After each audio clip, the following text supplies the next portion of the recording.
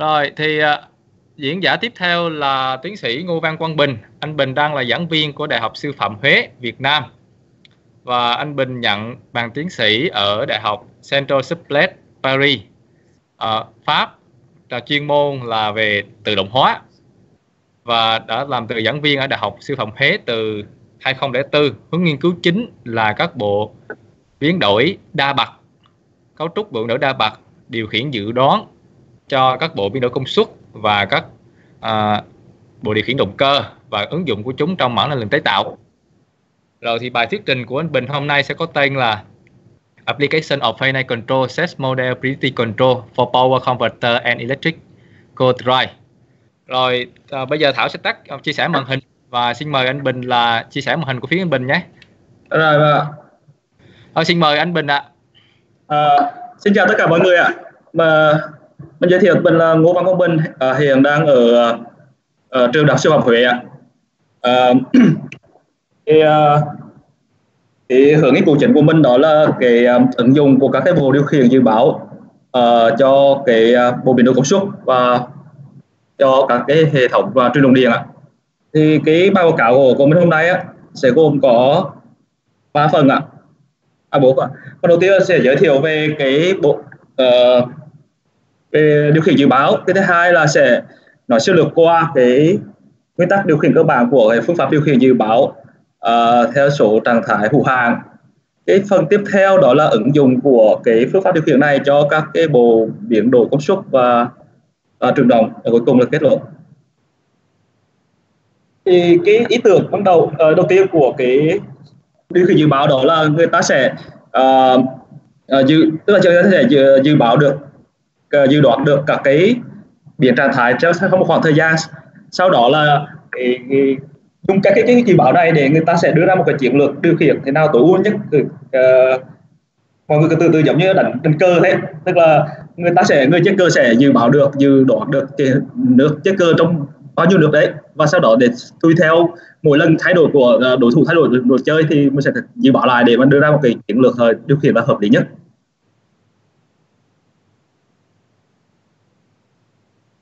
Thì ở đây là cái sơ đồ của một cái phương pháp điều khiển dự báo tức là ở đây thì có sẽ có một gồm có ba phần chính. Một là có cái mô điều dự báo để xây dựng cái mô hình đối tượng. Thứ hai là ta sẽ có cái khối u để bắt đầu tối u để giải để tìm ra cái tín hiệu điều khiển tối ưu nhất. Thứ ba đó là ta sẽ cài đặt ờ, cái phương pháp dự báo này và theo cái phương pháp ờ, dự báo tùy theo cái số um, cái chiều, chiều dài phạm vi dự báo thì thông thường người ta sẽ, sẽ sử dụng một cái mô hình uh, uh, biểu diễn của mô hình toán học dễ dàng uh, tương tự để xây dựng mô hình toán cho cái đối tượng. Từ mô hình toán này người ta sẽ xây dựng được cái mô hình dạng đoàn và uh, ta sẽ từ cái cái tín hiệu điều khiển sẽ tại một thời điểm cá này nó sẽ gồm có uh, n cái cái cái cái, cái, cái, cái chiều dài đó trong đó n này đó là chiều dài của của cái, cái phạm vi dự báo. Thì tùy theo mỗi thời điểm ta sẽ có được tính toán ta sẽ suy ra được n lần giá trị của điều khiển. Tuy nhiên cái giá trị cuối cùng á, để mà xuất ra điều khiển chỉ là giá trị tại thời điểm đầu tiên thôi. Thì để bây giờ tìm ra được cái, cái giá trị tối ưu đấy thì người ta thể giải các bài toán tối ưu theo một cái, cái yêu cầu đặt ra của hệ thống. Chẳng hạn nếu là điều khiển về uh, dòng điện à, điều khiển về bảng theo tín hiệu đặc hay điều khiển về tần số hay điều khiển về công suất gì đấy chẳng hạn thì đó là cái bài toán tối ưu đó sẽ giải tìm giá trị nhỏ nhất của cái hàm tối ưu đó thì ta sẽ ra được một cái tín hiệu điều khiển tối ưu và như là nói đấy ờ, ta chỉ lấy giá trị đầu tiên của cái tín hiệu điều khiển này để ta sẽ cả uh, xuất ra để điều khiển trực tiếp cho đối tượng. Và quá trình ờ, lặp lại như thế đến đến uh, trong thời gian theo giờ để toàn bộ thời gian một quá trình điều khiển. Thì cái vấn đề đặt ra tại sao cái điều khiển dự báo này nó rất phù hợp với các cái bộ biến đổi số suất thứ nhất là với cái bộ biến đổi số thì thường là số trạng thái hữu hạn chẳng hạn như là biến đổi hai mức chẳng hạn bộ mình lúc hai mức bình thường là chỉ có 8 trạng thái chẳng hạn hay là ba mức là bảy trạng thái chẳng hạn. Tức là có hữu hạn cho nên cái bài toán tối ta có thể giải giải quyết rất là đơn giản với cái cái số lượng hữu hạn đấy. Thứ hai ta có thể đưa vào các cái ràng buộc trong quá trình điều khiển. Ví dụ như là tôi thể giảm được cái tần số đóng cắt của switch rồi giảm được uh, uh, switch, uh, được cái tổn thất hoặc là giảm hoặc là thể cân bằng điện áp trên các tụ điện trong các cái mặt nghịch lưu đa mức chẳng hạn. Và hai là có thể uh, cái tính dễ dàng áp dụng cho những hệ thống của tính phi tuyến.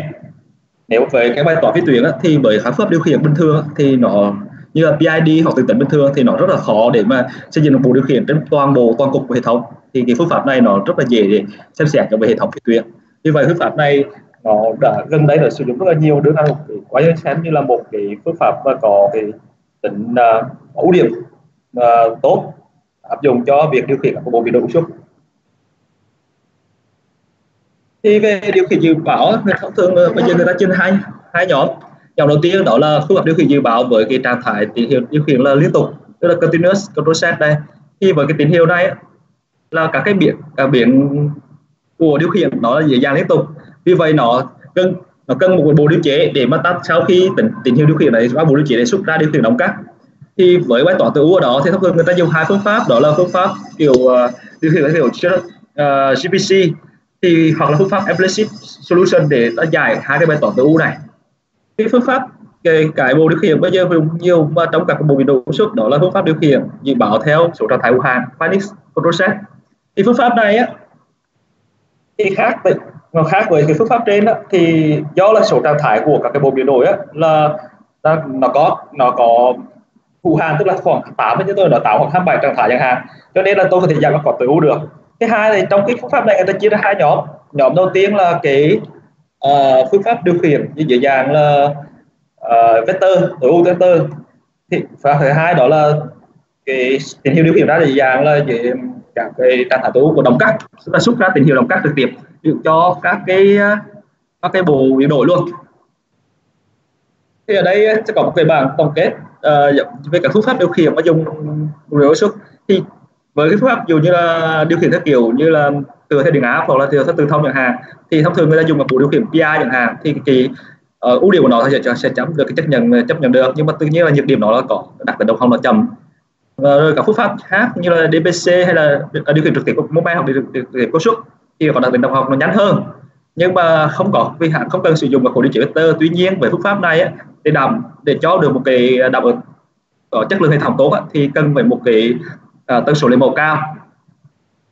Cái thứ hai là cái phương pháp đó là cái phương pháp điều khiển theo về số trạng thái u hai á, thì có cái chất lượng nó rất là cao hơn nhiều có dễ dàng ra buộc nhưng tuy nhiên nó cái bài toán tối ưu của nó khi cho hệ thống phi tuyến là phức tạp. Và cái hai cái, cái, cái, cái um, nó phải có cái cái um, cái sai số do cái sắp xỉ của mô hình trong dự báo. Thì cái phương pháp Fanny Control Set ấy, bây giờ thì người ta dùng rất là nhiều. Trong những năm gần đây cho các vùng biến đổi công suất. Bởi vì nó dễ dàng hơn, nó có có ưu điểm giống như là một phương pháp kiểu continuous control set, nhưng mà có cái ưu điểm hơn đó là nó dễ dàng trong việc cái bài toán tối bởi vì do số trạng thái hoàn cho nên ta thể dùng một cái vòng lặp để tôi có thể giải quyết cái bài toán tối đó. Thì nhược điểm của cái phương pháp này á, đó là khối lượng tính toán lớn. Bởi vì do luôn luôn ta phải quét hết tất cả vòng lặp để tìm ra trạng thái tối ưu. Chẳng hạn với cái bộ kết lũ mà càng càng lớn, số lượng trạng thái càng lớn, thì khối lượng tính toán càng cao và cái thứ hai là cái tính ổn định trong hệ thống ổn định toàn cục của hệ thống á, thì của phương pháp này thì cũng được chia sẻ nhiều trong các cái bộ biến đổi công suất.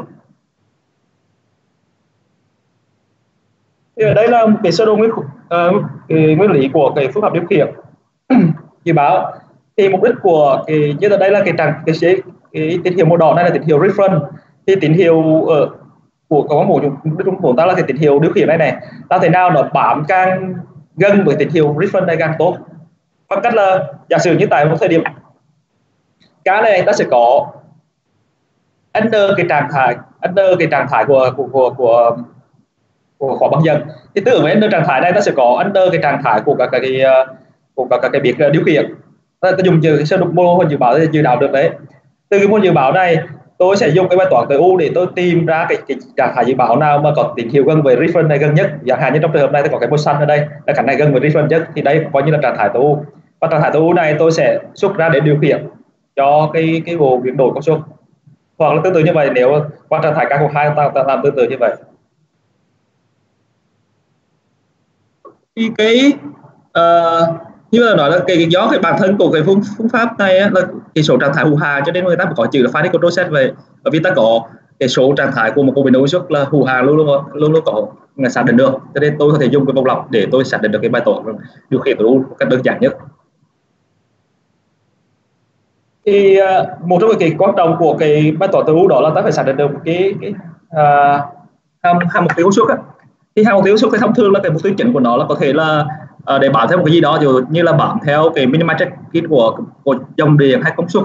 Cái nhiệm vụ cái cái mục thứ hai có thể là thể cân bằng điện áp trên tủ điện chẳng hạn trong các bộ nghịch lưu kiểu đá mức kiểu uh, diode kẹp chẳng MPC chẳng hạn hoặc giảm tần số của động cắt để giảm được cái tổn thất chẳng hạn trong các mặt uh, có công suất lớn ta hỏi ra ta có thể đưa vào các cái ràng buộc. Dù như là ta có thể ràng buộc được cái dòng điện trong phạm vi bao nhiêu đấy một cách đơn giản. Và từ đó ta có sẽ có được một cái cái cái hàm mục tiêu tổng quát để bài để bài toán chẳng hạn như mục tiêu tổng quát đây là gồm có bản thân dòng điện cân bằng điện áp trên uh, tủ điện và uh, ràng buộc của dòng điện thì cái weighting factor này là, là hệ số để để ta điều chỉnh ta đưa à, xét vào ta đưa vào để tôi làm thế nào để cân bằng điện áp trong tủ điện trong một phạm vi cho phép chấp với sai số chấp nhận được thì đấy là cái lưu đầu toán của cái cái, cái phương pháp này. Thì đầu tiên ta cũng nói là có đo lường uh, các cái, cái tín hiệu và hoặc là uh, hoặc là ta có thể là dự báo ờ, estimate được.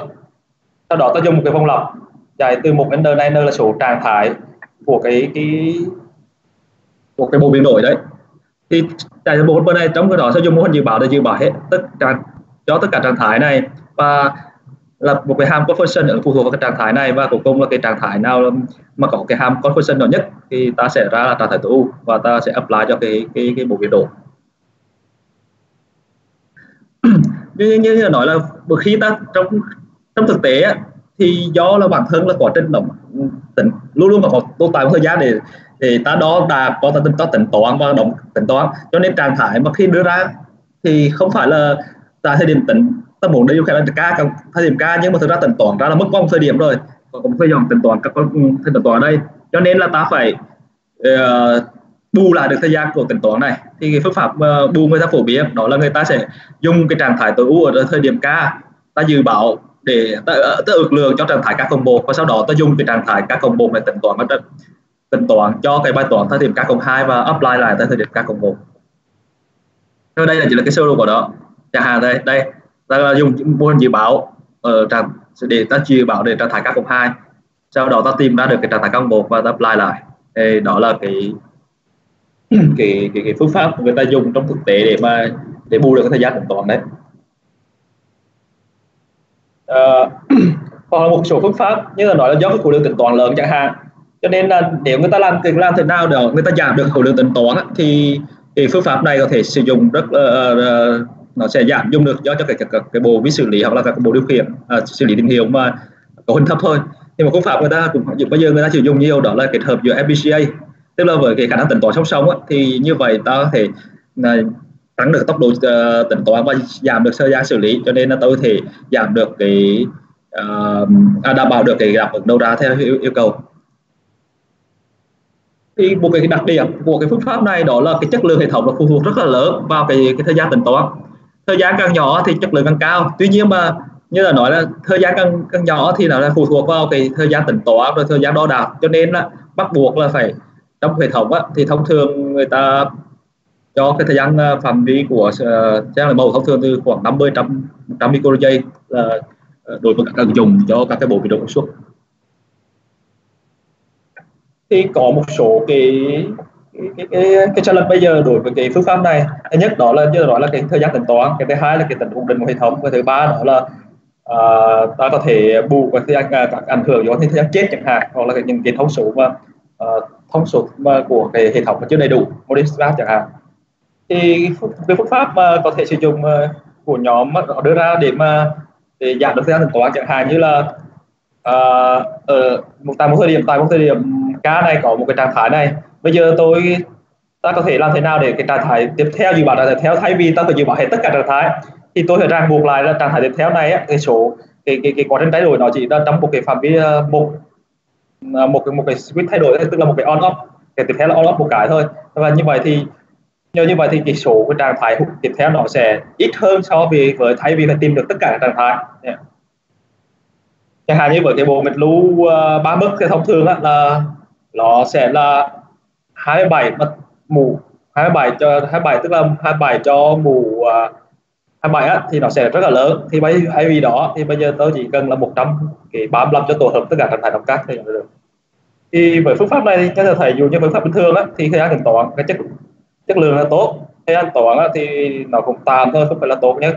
Thì với phương pháp này thì nó sẽ cho cho thời gian toán giảm hơn. Về chất lượng nó giảm hơn một tí nhưng mà vẫn cho phép sai số cho phép được chấp nhận được cái thứ hai đó là về cái, cái xe tự hệ thống thì một một một một cái cách để nhóm đề xuất đó là sử dụng cái hàm liên hàm liên dương này và sau đó một cái đạo bằng cách là xét các cái cái các cái trạng thái nào mà cái đạo hàm của nó tức là nó nó nó dương tức là tôi thể ổn định rồi ấy, thì cả nó ấm ấy, thì tôi phải đưa vào trong cái, cái bài toán tối ưu để tôi xét.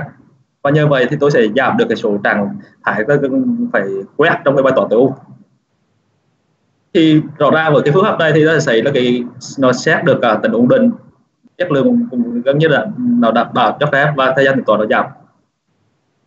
Thì đây có thể mô, mô tả cho cái cái, cái cái bài toán ổn định đấy. Chẳng hạn như đây là cái hàm leo đốt đây là đạo hàm của nó. Đây là hàm leo luôn dương là hàm luôn luôn âm.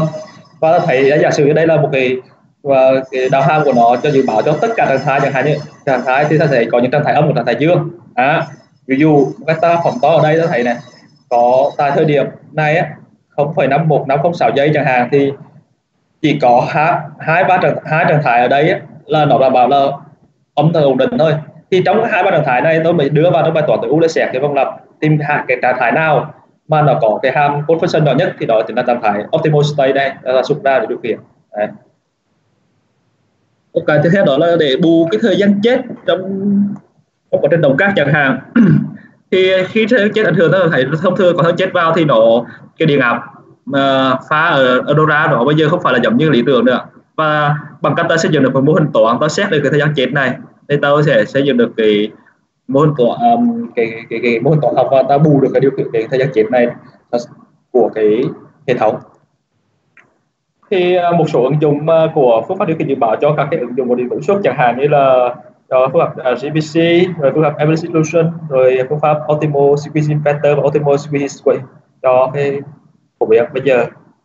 Và một số cái ứng dụng người ta đã làm chẳng hạn như là cho các cái bộ điều khiển uh, chỉnh chỉnh lưu và rồi các bộ các uh, truyền động cho các bộ uh, Starcom bộ suất cho truyền tải điện một chiều công suất cao rồi cho matrix converter cho các bộ uh, UPS chẳng hạn. Đúng là bây giờ đó dụng rất là uh, phổ biến người ta dùng rất là nhiều thì uh, cái, cái phần tiếp theo ở đây thì uh, giả đưa à, uh, trên, đề xuất à, trên bài là một số cái uh, cái minh họa cho cái phương pháp này. Đầu tiên là cho phương pháp cho điều khiển với cái lưới điện rồi với cái bộ nghịch lũ ba bức thì uh, đây ta dùng điều khiển trực tiếp theo kiểu công suất thì đầu tiên ta sẽ sử dụng một cái, cái mô hình toán học cho cái cái cái cái, cái hệ thống. Ờ, phương pháp này ờ, ở đây thì tác giả sử dụng cái cái môn từ à, phương pháp từ hay từ thông để uh, xây dựng được cái hệ tổ đồ đây và ta có được cái uh, mô hình toán của dòng điện uh, dòng điện và từ thông và UZ này là điện điện áp cân bằng giữa hai tụ điện. Ta có điện đầu ra của cái hệ thống đây là ta điều khiển công suất uh, tác dụng công suất phản kháng truyền tải đến lưới trên lưới thì chỉ đó anh nhìn vào đây ta thấy là cái hệ thống này nó có tính phi tuyến rất là cao à, trị thuộc độ SIPC chẳng hạn như này. Thì với phương pháp điều khiển bình thường thì điều khiển bình thường thì rất là khó để mà xây dựng hệ thống điều khiển được đảm bảo thì với cái Ờ, pháp MPC này tôi có thể dùng cái xe về phi tuyến rất là dễ dàng. Và ta có được cái mô hình. Đây là mô hình gì dễ dàng? À, liên tục và liên tục của cái hệ thống này. À.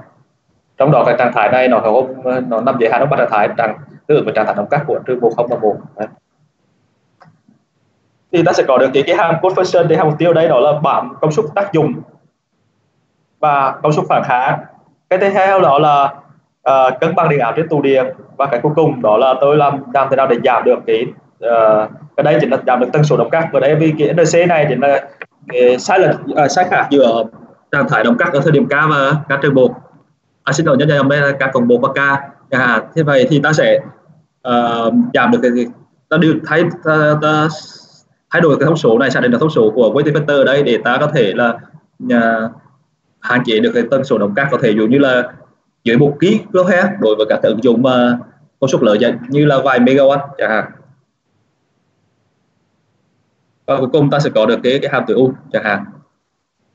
Thì đây là một cái kết quả uh, mô phỏng chẳng hạn. Đây là công suất công suất của khi truyền tải hướng với trường hợp là phạt và uh, nhận và, và, và, và truyền tải chẳng hạn dương và âm. Rồi đây là cái uh, điện uh, công suất phát khá uh, dòng điện dòng điện và điện áp chẳng hạn có thể đáp ứng rất là nhanh rồi sai lệch rất nhỏ. Rồi hôm nay là trường hợp tiếp theo là trường hợp mà ta có uh, so sánh với nhiều phương pháp điều khiển theo kiểu uh, bộ điều khiển từ tính PI bình thường và phương pháp theo kiểu MPC để thấy rõ ra là cái sai lệch của Ripple này nó càng lớn hơn so với phương pháp bên này và cái cái độ cái đáp ứng đó nó chậm hơn so với phương pháp bên này. Rồi dòng điện thế có thể TXD của PI nó 4,62 bên này nó nhỏ hơn rồi cân ba điện cái tụ điện cũng nhỏ hơn rõ ràng. Và lại tổng uh, tổng quát thì ta một cái bảng so sánh ở đây cho thấy ví dụ như công suất tác dụng nó thay đổi từ 5 kg đến 8 hoặc 8 kg thì ta thấy ra gian tăng tốc. Nó nó ảnh hưởng với thời gian sinh tay và sót và từ vậy. THD cũng như là cái độ sai sai lệch xác lập của các cái công suất tác dụng của khác. À, và đây là kết quả của uh, thí nghiệm thì là có được dòng điện rồi công suất tác dụng công suất phản kháng hay điện áp dòng điện. Rồi trong trường hợp uh, uh, xác định uh, xác lập steady state và trong trường hợp này có uh, uh, uh, dynamic response cho cái trường hợp thay đổi. Này và đây có điện áp của kịch lưu rồi cũng như là tạo ra điện áp các bạn hai tụ điện này. À, và đây là phổ của cái điện áp lưới. Rồi TSD của đâu ra của hãng Pháp. Và còn có một cái rất là rõ ràng nhìn thấy với cái phương pháp điều khiển kiểu uh, truyền thống theo kiểu Fanny process bình thường thì thời gian tăng thời gian của tính toán nó lớn ở 88 micro giây. Trong cái phương pháp này ta chỉ có sử dụng được mất 60 micro giây cho nên tôi có thể là giảm được thời gian tính toán. Cái ví dụ thứ hai là tôi nói đến đây đó là sẽ sạc cho ờ, trường hợp điều khiển với một cái máy phát để mà bộ uh, nguồn điện uh, bộ uh, kép Dolby fan Induction Generator đây thì cũng tương tự như vậy à, ở đây ta sẽ, sẽ xây dựng mô hình toán. Mô hình toán này à, gồm có tư thông và dòng điện rotor ngoài ra còn cái điện các bạn điện áp trên tụ điện. Và cái cái mong muốn điều khiển ở đâu ra? Ta là điều khiển công suất à, uh, starter của tác dụng và hàng khác. Thì cái hai mục tiêu ngoài như là cái điều khiển công suất tác dụng của khác thì có thêm là cái giảm giảm cái mode đó. cái này là khác hơn bên kia tí là thêm cái mode để mục đích là giảm được cái uh, cái bộ phân tích giữa hai cái điểm trung tính của phía tải và phía cuối cùng thế đây của mô phỏng dù dụ như đây là công suất nó từ ờ, từ 2 MW lên 1 MW và xuống lại một trên 1,5 chẳng hạn để công suất tác dụng tương tự công suất phản kháng ở đây dòng điện. Ở đây là điện công mốt bằng cách thay đổi thông số thì tôi thấy nếu khi chưa điều chỉnh thì con mốt là khoảng 600V nhưng mà sau khi tôi điều chỉnh mà lên thông số là có detector là 350 thì giảm được còn 200V thôi chẳng hạn thế. Và đây là trường hợp với là tốc độ thay đổi. Dù trường hợp ở đây là có hai trường hợp một trường hợp một cái lúc này á, là tốc độ giữa tốc độ mức đến là trên tốc độ mức. Và nó thấy là ở với tốc độ này thì công suất tác dụng công suất bằng hàm bám theo được. Công suất của uh, rotor uh, rồi công suất của của lưới trừ uh, à, của của của lưới gồm có stator và rotor nó trừ từ hai phía. Đấy. Thì bên đây là dòng điện của của rotor. Trường hợp này giữa tốc độ mức đây là gần sắp sửa mức thì rotor nó sẽ bằng không vì hệ số trường. Và trên này là trên tốc độ mức chẳng hạn này có thể nói là cái, cái phương pháp này nó là một cái sẽ là một cái giải pháp rất là hấp dẫn để mà để điều khiển cho các cái ứng dụng về điện tử xuất và nó có bởi vì nó có thể dùng với các cái cùng một cái cấu trúc mà có thể điều khiển được các, các, các cái đại lượng điều khiển khác nhau chẳng hạn điều khiển dòng điều khiển điện áp công suất rồi phổ tần số moment từ thông tất cả khác. Rồi các cái các cái cái, cái ràng buộc và tính phi tuyến nó rất là dễ dàng đưa vào trong cái cái phương pháp này và thứ hai cái phương pháp này còn rất đơn giản và dễ dàng áp dụng cho các cái, cái bộ điều khiển khác. Bởi vì ở đây ta sẽ không sử dụng một cái khối điều chế gì cả. Điều khiển trực tiếp ra tín hiệu để đọc cắt luôn cho nên nó rất dễ. Và có thể nói đây là một cái tương lai cho cái cái ngành điều khiển cho phía ứng dụng cho điện tử server và uh, trường đồng thì một cái số cái mở hơn mở cho cái cái, cái, cái bài toán ứng dụng Finite Control Set này ấy, uh, ờ, tức là người ta có thể một cái hướng đó là người ta phải tìm một cái phương pháp nào đó để xác định được cái thông số tối ưu của cái vector bởi vì uh, trong cái, cái thông số của cái chapter này nó ảnh hưởng đến chất lượng. Thì bây giờ người ta sử dụng một phương pháp là người ta sẽ xác định bằng offline người ta mô phỏng người ta tính toán trước sau đó người ta, người ta do để cái giá trị nào phù hợp nhất theo tiêu chí là THD hay là tiêu chí sai số trật lập gì đấy để ta ra. Thì chưa chưa có một cái phương pháp tổng quát để xác định được được cái thông số tối ưu. Thứ hai là cái như là cái tính ổn định cái hệ thống này á, là cũng với chỉ xét được bài, bài, bài toán thôi chưa được phải nhiều cái thứ ba đó là làm thế nào cải thiện được cái thời gian tính toán à, thời gian bài toán tối để giảm được thời gian toán thì ta sẽ áp dụng được cho các cái bộ xử lý hiệu mà có cấu hình thấp giảm hình thấp giảm được. Tiếp theo là mở rộng được cái phạm vi dự báo bởi vì ta càng mở rộng phạm vi dự báo thì chất lượng càng cao. Đấy. tuy nhiên là ngược lại nó sẽ tăng thời gian tính toán lên.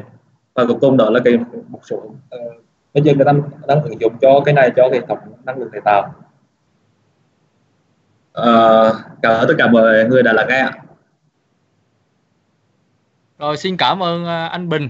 Giờ bây giờ xin à, Thảo xin đại diện đọc câu hỏi đầu tiên của bạn Bảo Huy ở ở Liêu Pháp là Vâng. thứ nhất là thường nghiên cứu về uh, MPC á, Predictive Control điều khiển dự báo, người ta hay nói về cách giải bài toán tối ưu nhưng không nói nhiều về mô hình dự báo. Diễn giả có thể nói thêm một cách tổng quát về việc lập mô hình dự báo, cách triển khai và vấn đề thời gian tính toán để mô hình dự báo này như thế nào.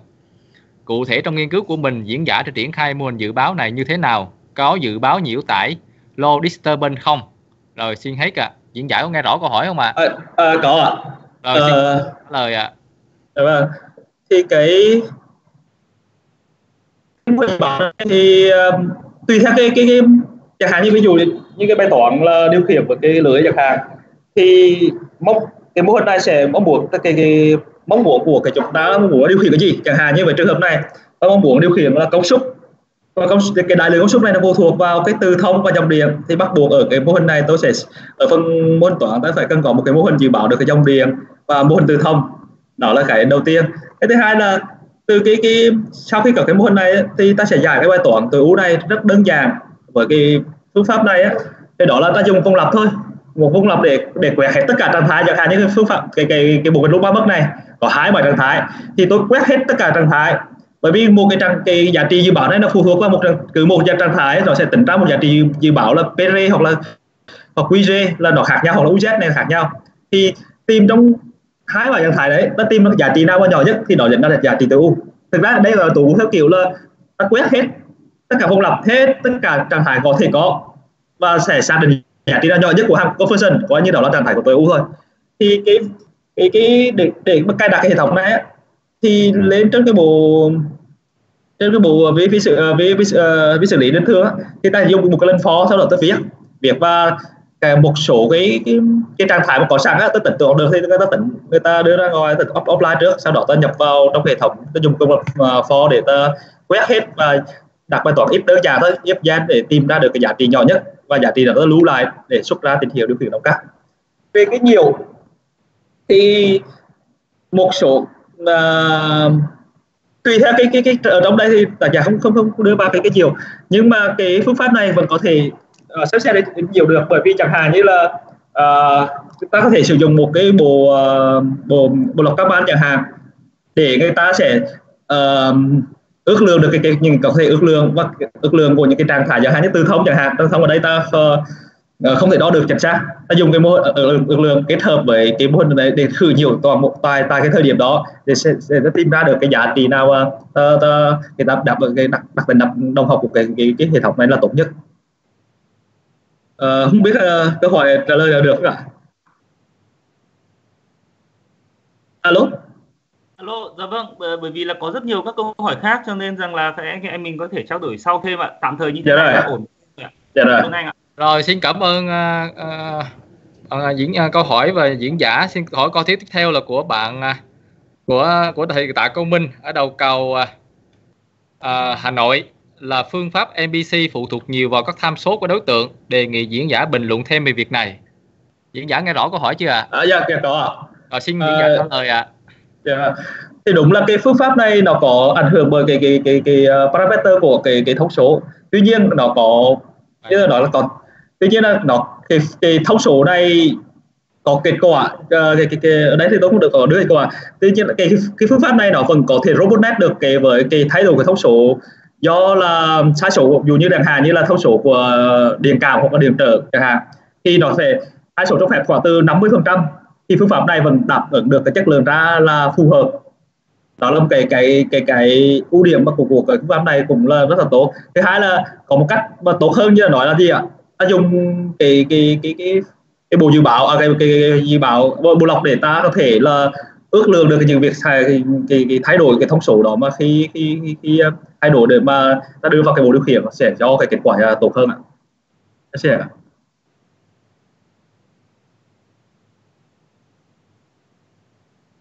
à, được ạ. Không biết thầy thì, thì vẫn theo ạ. Alo?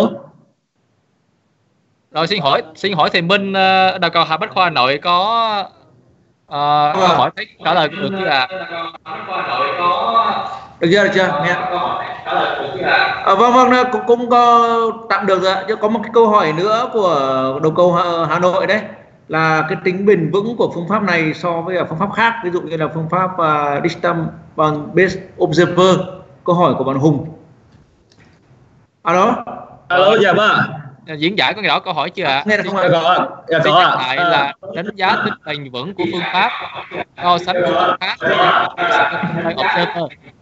pháp so sánh phương pháp khác Dạ, có câu hỏi bên phía thì mình ạ. À. Đúng là tức là như như là nói tức là nếu mà chưa chưa chưa xét đến cái phương pháp cái cố sát chưa xét đến cái phương pháp cái cố sát thì cái à. phương pháp finding control set này nó vẫn cho được phạm đáp ứng nhưng mà sự thay đổi thông số khoảng 50% tuy nhiên để mà nâng cao chất lượng hơn thì thông thường với người ta có thể kết hợp với một bộ quan sát chẳng hạn như là nói bộ quan sát như là Luberger hay là Kappan hay gì chẳng hạn để mà ta có thể ờ, uh, robotnet được với cái, cái cái thay đổi của cái uh, thông số của hệ thống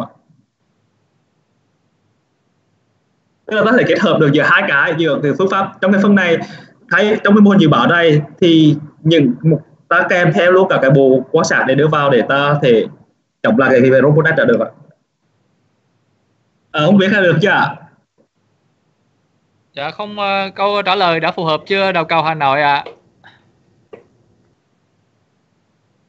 rồi thì uh, năng lúc đó thì chắc là để uh, có thể là mình sẽ thảo luận thêm. Thì bây giờ tiếp theo là câu hỏi ở đầu cầu Cần Thơ là tiêu chí nào chọn thời gian lấy mẫu là 50 đến 100 microsecond? Rồi diễn giải nghe rõ chưa ạ? Chào nghe ạ. Rồi xin uh, trả vâng. lời ạ thì cái cái cái cái thông số từ ờ, thông số thời gian lấy mẫu 50 đến 100 microsecond này là là, là do có những yếu tố như sau thứ nhất.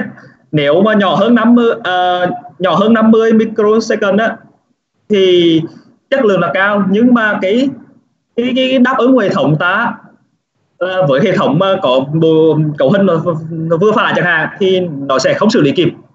Chẳng hạn như dùng như có như là uh, À, hai tám ba năm chẳng hạn thì dưới 50 thì sẽ chắc chắn sẽ sử dụng được. Nhưng bây giờ với cái những cái ứng dụng à, những cái cấu cấu hình mạnh chẳng hạn như dùng có uh, à, những cái à, display hoặc là FPGA chẳng hạn với khả năng tính toán song song chẳng hạn rất là cấu hình rất là mạnh tốc độ nhanh thì ta có thể giảm được cái thời gian tính à, thời gian của lấy mẫu xuống nhỏ hơn để tôi có thể cho được chất lượng cao hơn.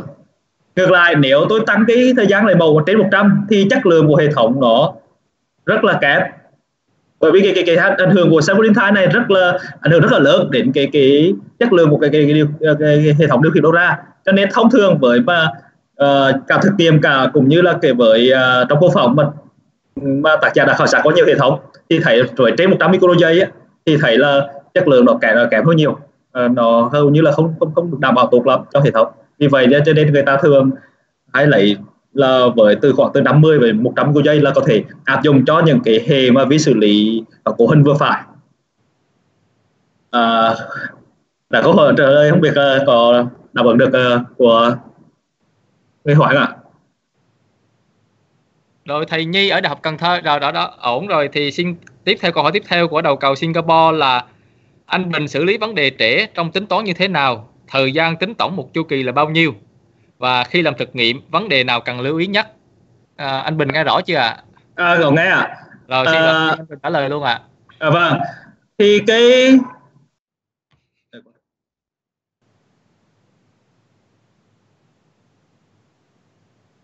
cái, cái, cái, cái thời gian để xử lý cái thời gian tính toán trễ thông thường như là về phương pháp phổ biến nhất đó là tức là thay vì tôi sẽ xuất ra tín hiệu điều khiển tại thời điểm các một thì tôi phải dự báo ở tại, tại thời điểm các cộng hai và xuất ra tại, tại các các cộng một. Thì với thời điểm các cộng một đầu tiên á thì tôi người ta sẽ cái dùng cái trạng thái tới u coi như là đã xác định trước từ thời điểm trước để làm một dự báo. Sau đó với đưa vào trong cái cái cái cái cái cái cái, cái, uh, cái, cái bộ điều khiển và dùng cho ờ, bộ ờ, trạng thái dự báo trạng thái các cộng hai này sẽ phụ thuộc vào trạng thái các một còn phụ thuộc vào n là trạng thái của cái Ờ, trạng thái đồng cắt của của của cái cái bộ bộ bộ biến này. Và sau khi có được trạng thái cao hai này ta tìm được cái trạng thái ờ, cái hàm tối dùng được hàm tối u để ta giải quyết bài toán. Đó là cái cái để mà người ta dùng phổ biến nhất để cho xử lý cái thời gian ờ, tính toán để bù thời gian toán. Còn trong thực tế để mà áp dụng được hệ thống thực tế à, để mà tiến hành thực tế thì một cái lưu ý đó là với phương pháp này á do bản thân á là cái tần số đồng cắt ở, ở tần số đồng cắt của ta đấy á, là nó thay đổi variable. Cho nên á cái cái cái cái cái mà cái và thứ hai đó là cái giá trị của dự báo này này phụ thuộc vào cái trạng thái của ước lượng hoặc đo đạt trước đó. Cho nên với cả giống như thực nghiệm thì nếu điều khiển giống như trong điện chẳng hạn thì tôi phải cái cái cái cái, cái sai số của cái, cái cảm biến cũng như là xử lý cái cái, cái sai số đấy à, phải rất là chính xác.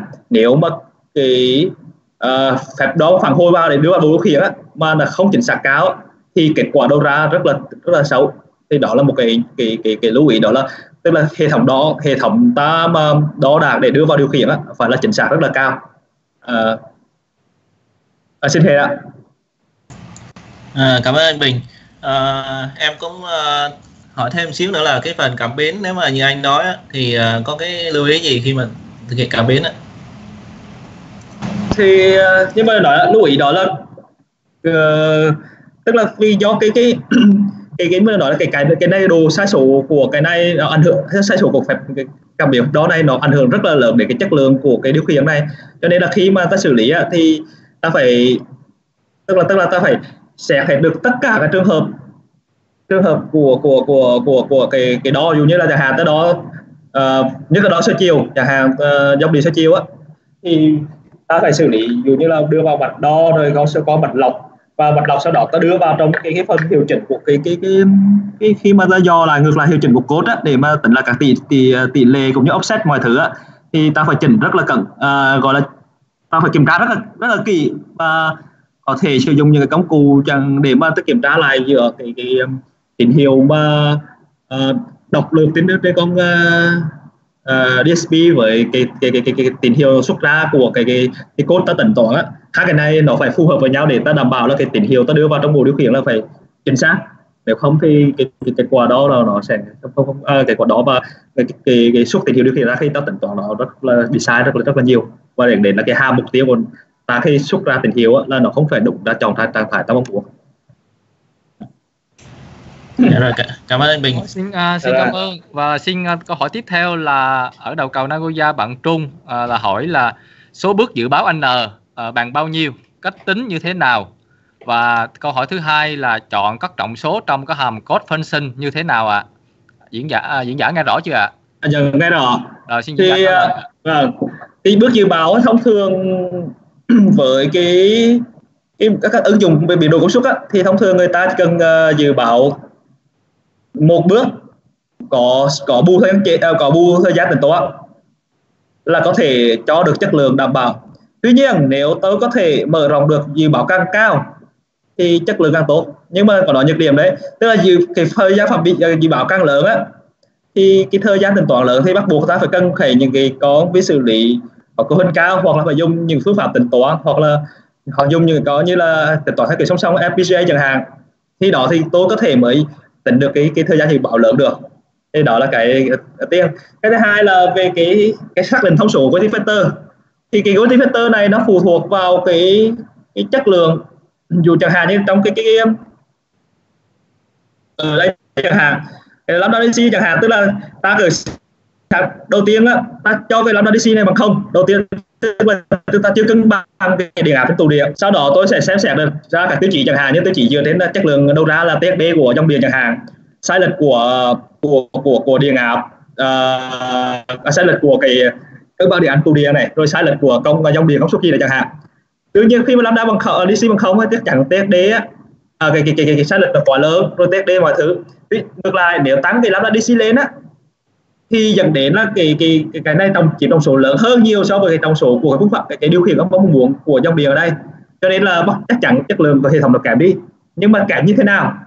Tức là tôi phải xem xét quá thử là nếu giả sử tôi tiêu chỉ tôi ra là TSD tôi vì sao là đảm bảo nhỏ hơn 5% theo đúng yêu cầu mà có cân bằng điện áp tụ điện khoảng trong khoảng là 5% của cái ưu định mức chẳng hạn rồi uh, sai lệch à, đáp ứng đáp, đáp ứng quá độ của nó như thế nào mọi thứ. Tức là cái này tôi phải phải uh, xây dựng một cái bảng lambda DC này là ta phải khảo sát hết khảo sát hết.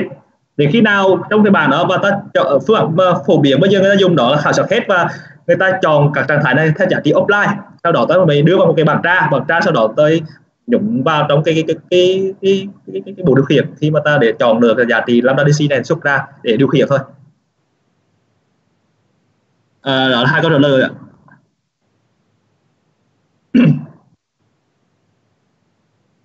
Không biết là, là phù hợp với uh, câu hỏi chưa? Cảm ơn bình. Bây giờ đi cùng câu hỏi tiếp theo là bạn Nguyễn Ngọc Anh ở trên Facebook hỏi là em có câu hỏi cho diễn giả. À, có thể nói một chút về control board là bo điều khiển á mà anh dùng để thực hiện cái phương pháp này không ạ? À, về cái bo điều khiển thì trong cái bài thực, uh, trong thử nghiệm này vẫn hiện ra chỉ dùng uh, câu câu AF uh, display uh, F 28335 thôi. Cùng bởi vì có nó cũng tốc độ đó vừa đủ với cái thời gian xử lý của mình ví dụ như trong cái bài mình sử dụng với 100 micro giây chẳng hạn thì phải có cái xử lý đó đủ đảm bảo để đáp ứng được cái thời gian tính toán và xuất ra tín hiệu ra. Còn các cái um, mặt driver thì vẫn như là các mặt driver khác để mà kích mọi thứ thì như các chỉ có cái phần bo cái thì mình dùng cái con à, hai tám ba năm. Nhưng mà tuy nhiên nếu mà uh, có được những cái con chất lượng ờ, mà tốc ờ, tốc độ tốt hơn cao hơn thì có thể sử dụng để ta giảm lại giá giá trị của semithai để nâng được chất lượng cao hơn. Uh, không biết cái câu trả lời là phù hợp không ạ? Bình tĩnh cứ bình tĩnh đi. Rồi câu hỏi tiếp theo là cho diễn giả là ở đầu cầu anh Minh ở đầu cầu Tokyo là MBC có thể áp dụng cho các hệ thống có trễ thai delay hay là dead thai? Vào khoảng thời gian trễ này biến đổi một cách ngẫu nhiên hay không? Trong trường hợp đó có giải pháp nào để đảm bảo tính ổn định về của hệ thống về mặt lý thuyết? Diễn giả nghe rõ chưa ạ? Dạ còn nghe rõ ờ, cái, cái phần dạ vâng. Cái phần này thì cũng phải là cái hướng quan tâm chính nhưng mà theo uh, diễn giả được biết thì cái MPC này xuất phát điểm ban đầu là nó từ uh, các cái hệ ứng dụng trong các hệ thống điều khiển quá trình process control và vì vậy nó được sử dụng trong các cái hệ thống time delay và nó xét được cái cả cái bù được tức là nó có thể bù được cái cái cái cái, cái, cái của time delay cũng như là cả cái model mismatch được cho cái hệ thống được và uh, và có thể sẽ, tức là bài toán u khi đó thì ta sẽ sẽ sẽ giải quyết theo một cái kiểu khác chứ không phải là giải quyết theo kiểu kiểu kiểu theo kiểu Fanny Control Set này bởi vì cái này đấy, đây nó ứng dụng theo kiểu là uh, số trạng thái là ưu hàng rồi còn cái bài toán bên kia thì người ta sẽ giải quyết theo kiểu là Continuous Control Set tức là khi đó ta không có cái số trạng thái hù hàng nữa mà người ta giải bài toán từ U theo một kiểu dụ như là dùng các cái uh, phương pháp như implicit solution hoặc là phương pháp như là uh, uh, mixed integer linear program chẳng hạn để giải quyết bài toán từ U chẳng hạn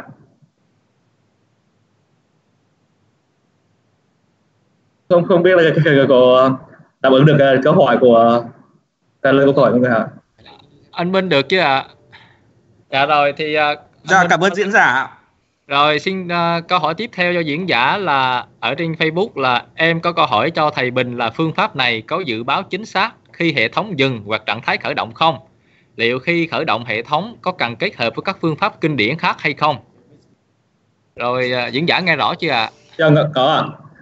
À uh, phương pháp này hẳn không không tức là khi mà khởi động, hoặc là khi mà dù chẳng hạn như khi hòa lửa chẳng hạn, và hòa vào lửa điện chẳng hạn, thì không cần phải kết hợp với các phương pháp khác. Nhưng mà trong quá trình họ, khi mà hòa đấy thì cái bộ, cái phần điều khiển ta phải là làm làm có hai mục tiêu.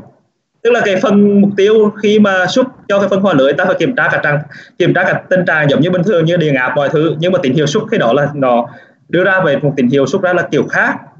Và cái hai mục tiêu nó khác còn khi mà đã hòa vào lưới rồi thì cái hai mục tiêu ta sẽ là khác chỉ khác thay đổi trong cái phần tín hiệu điều khiển thôi chứ không cần phải là à, phải sử dụng à, các cái phương pháp à, kết hợp với phương pháp bình thường để mà dùng như khởi động hay là hòa lưới bình thường.